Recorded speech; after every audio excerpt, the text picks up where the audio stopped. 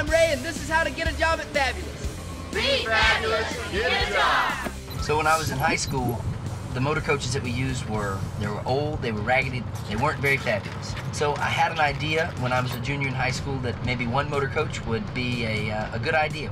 My very first employee was Larry. I've been with Ray from day one until now. Can I get some Grey Poupon in here?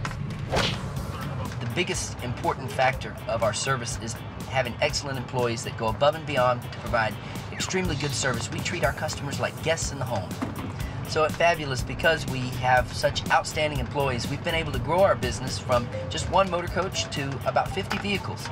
If you want to get a job, it pays to be prepared. I am the Director of Human Resources at Fabulous Coach Lines. I am sort of the uh, gatekeeper for employment. To impress me, I like to see a neat application. Sometimes we hire people just for their smile.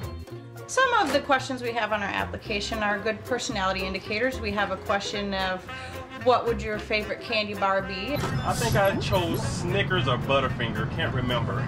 So, And we have uh, what song would you like to hear if you could hear it for the rest of your life? Seats on the bus go up and down that point, I review it and review their answers, review their qualifications. Shorts and flip-flops are not good for an interview. Wear something that, um, that makes it look like you want the job. Brush your teeth. Wear deodorant. Ask some questions about the job. Well, I'd uh, like to schedule you for an interview. When would you be available to come in? Don't arrive too early for your interview, but also never be late.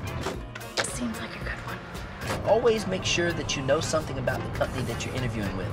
Check them out. Check out their website. Find out what the vision for the company is. I had everything that they were looking for, I believe. And so they picked me. If you Want to get a job. you have To be fab. You. Let's be fabulous.